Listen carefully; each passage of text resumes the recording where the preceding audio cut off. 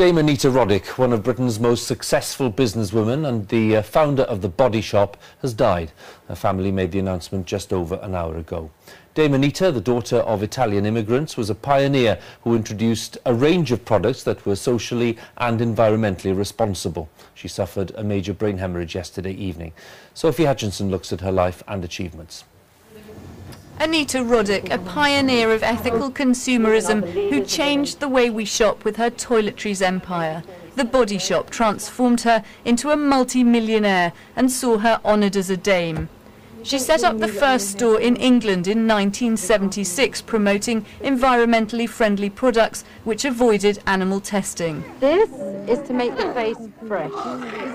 Her business trips took her around the world where she researched new products, but campaigning was in her blood and she became one of the first to call for fair trade long before it became a widely recognised issue. Back home, an award-winning entrepreneur, she used her celebrity to champion women in business. Anita Roddick's legacy has been to be green before we even thought of it. She was the first person who said, if you bring back your old container for one of her beauty products, she would fill it up and give you a bit of money off. She knew we were using up all the Earth's resources, and she was very, very early with being organic, with being green, with worrying about the third world. But as the success of her brand grew, unbeknown to her, she was infected with hepatitis C. It had been transmitted through a blood transfusion while she gave birth to her youngest daughter.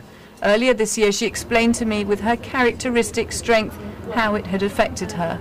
Maybe because it's like such a stealth killer, you know, because there's no, so, there's no symptoms as such, um, that it never really hit me. The only time it ever sort of hits me and so I'm thinking in a new language, and that language where the currency is time. Time, however, was already running out for this tireless campaigner who was never shy of pushing the boundaries.